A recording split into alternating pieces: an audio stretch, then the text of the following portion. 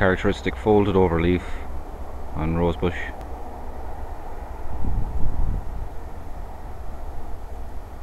Caterpillar emerging when disturbed and jumping off.